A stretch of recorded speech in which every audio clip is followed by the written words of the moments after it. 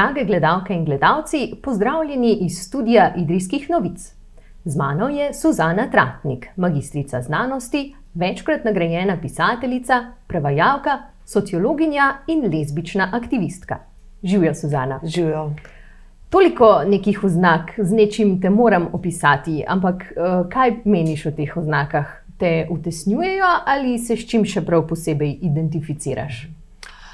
Mislim, da so te oznake potrebne, da imamo uh, vsi svoje oznake, da pa je seveda odvisno tudi od tega, uh, kje se nahajam ali kje počnem. Ne vem, če sem na literarnem festivalu, je verjetno najbolj pomembno to, da sem pisateljica. Uh, lahko je pomembno tudi to, da se ukvarjam z lezbičnimi temami, ni pa nujno. Uh, ne na zadnje, pa te oznake potrebujemo tudi iz preprostega razloga, ker oddajamo svoj CV, takrat se pa z njimi radi pohvalimo.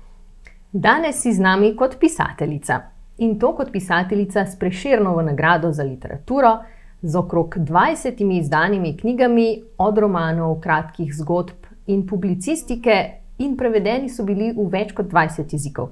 Povabili smo te v Idrijo. Kraj, ki ga marsikdo asocira s zelenim hotelom, prej so si ga šli ogledati, kar je ena od mnogih metafor za našo psihiatrično bolnišnico. Če pogledamo naslovnico tvoje predzadnje knjige Norhaus na vrhu hriba, bi si mislili, da pišeš prav o njej. Bi imeli prav? Ne. Gre za um, nek Norhaus oziroma psihiatrično bolnišnico v knjigi, ki je ki zastopa nek univerzalen kraj. Uh, sem pa seveda uporabila, uh, ko sem pisala knjigo, to neko folkloro, ki jo poznamo v Sloveniji, ker pač ima vsak okraj v Sloveniji uh, nek svoj lokalen Norhaus, tudi kot je bilo omenjeno, s posebnimi imeni. In zaradi tega se mi je to zdelo zanimivo, in pač glede na to, uh, iz katerega kraja si je tudi odvisno, kam te kdo pošlje, kader meni, da nisi pripravi ali pa kader ga preprosto razjeziš. Kje pa si dobila navdih za to snov? Navdih sem dobila v sanjah, ne spomnim se več natančno, bilo je pred kakšnimi desetimi leti.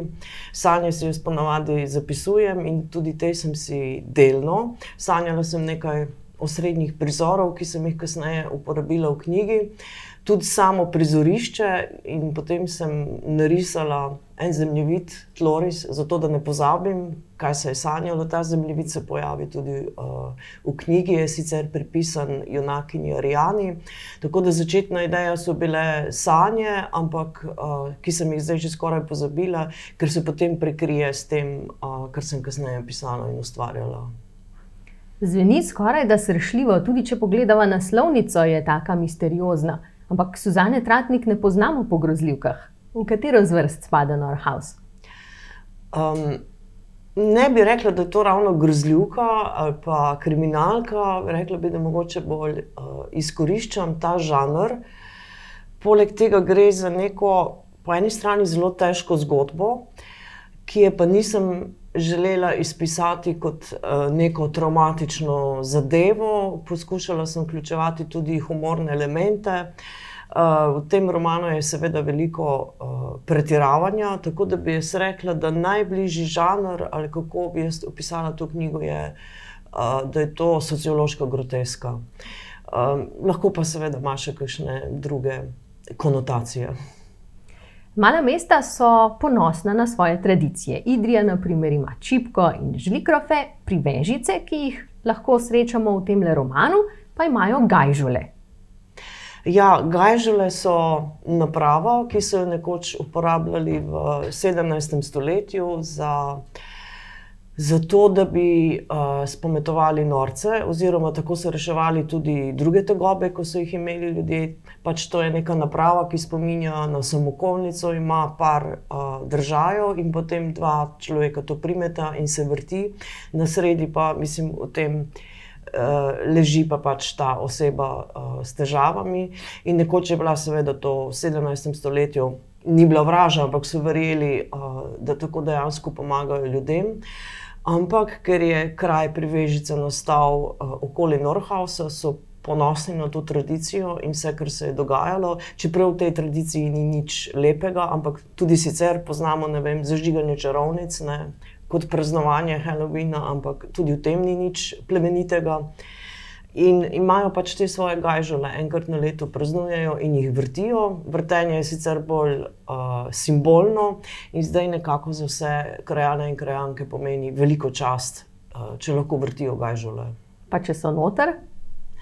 Uh, tudi to, tudi to nekako šteje. Čeprav to pomeni, da imaš uh, mogoče nek problem, ampak vseeno si pa sodeluješ pa na slavju.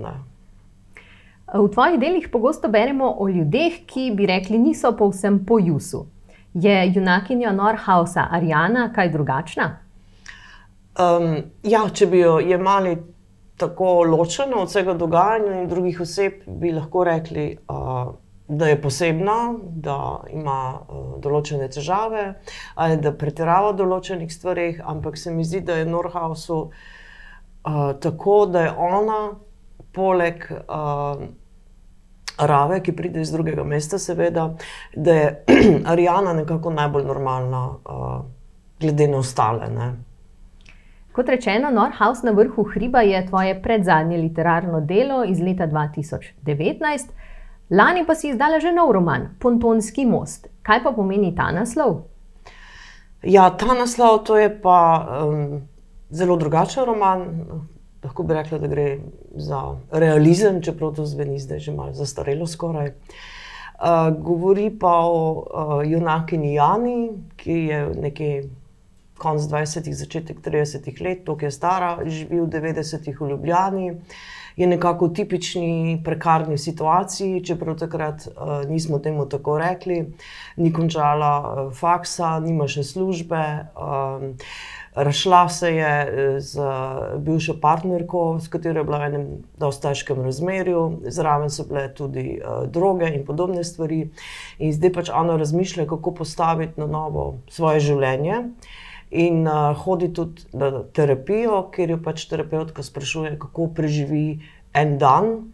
In potem Jana razlaga, da ostane, pa spije kavo in potem ne vem, nekaj napiše, ker dela za neko revijo, potem gre v mesto, potem to nese in potem reče terapeutko: No, vidite, to so deščice v vašem potomskem mostu, ki je nad tem breznom življenja, v katero uh, se Jana boji pogledati.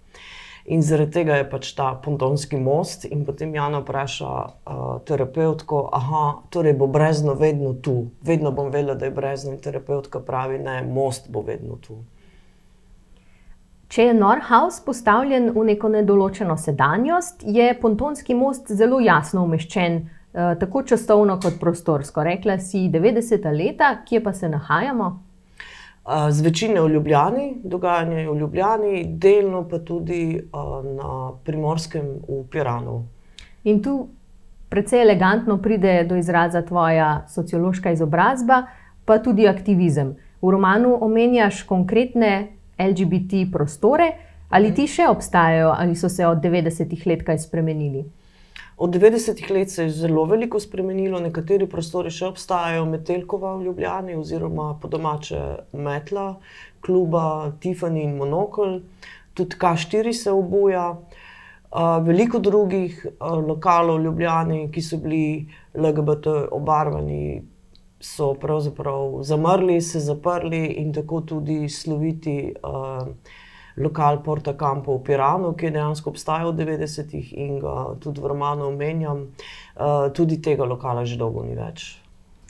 Kot dolgoletna aktivistka na področju boja za manjšine, specifično LGBT manjšine, ali opažaš kakšen napredek, spremembe na tem področju? Um, ja, spremembe so seveda vedno. Če primerjamo vem, 15, 20, 25 let nazaj, je vedno mogoče potegniti ene primerjave, ki pa ne, gre, ne gredo tako premočrtno samo naprej. Ene stvari so boljše, recimo, kar se tiče določenih zakonskih ureditev. Uh, potem mogoče samo skupnost uh, malo usiha, mogoče je to povezano tudi z.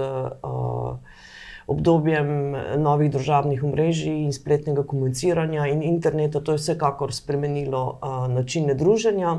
Tako da, seveda, veliko stvari je boljših in napreduje, ene se slabšajo, večje se tu in tam sovraštvo, oziroma je bolj uh, eksplicitno izraženo.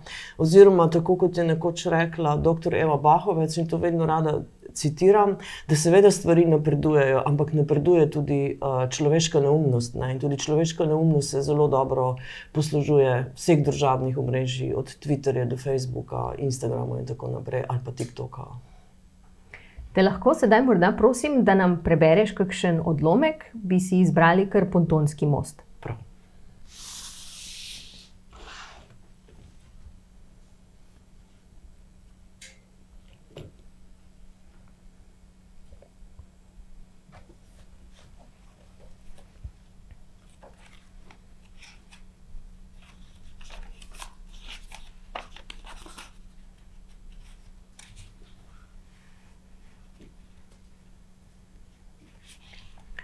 Začelo se je tik pred Karloškim mostom.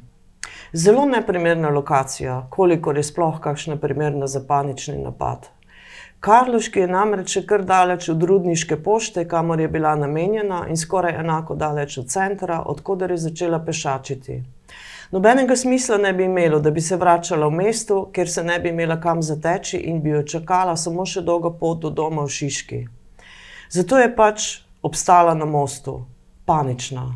V nahrbtniku, ki ni premogel niti enega notranjega žepa, je živčno iskala papirnate robce, ki so bili sicer posebno nekoristni. Navadno se ni tako potila, da bi bilo kaj obrisati, a so robci pomenili majhno možnost, da se bo zamotila. Zelo majhna možnost, pa vendarle. Najlepša hvala za prebrani odlomek, Suzana Tratnik, srečno na vseh zastavljenih bojiščih. Hvala in hvala za povabilo. Vam, drage gledalke in gledalci, pa veliko sreče na lastnih pontonskih mostovih.